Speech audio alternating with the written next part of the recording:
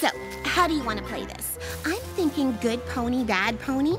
You yell and blast him with magic, while my natural charisma will convince him that. Uh, Starlight? Hey, Pharynx! I know when we first met, it didn't go so well. I put you in the bag. I thought it went great. Right. So, not a big fan of the vines, huh? They're a safety hazard. An enemy could hide in them or use them as weapons. I don't even know why they're here. Because they're pretty? That's ridiculous. Oh, totally. We get you. But maybe don't express how you feel by destroying them? I don't take advice from ponies. The only thing I take from you is breakfast. At least I used to. You know, you're a lot like us. Doubt it. It's true.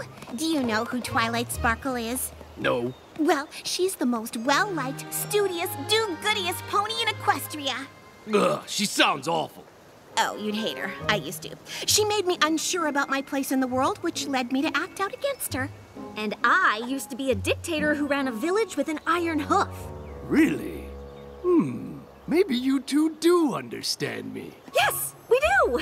But now, Trixie has come to terms with being second best, and I no longer control ponies against their will. And our lives are so much better for it.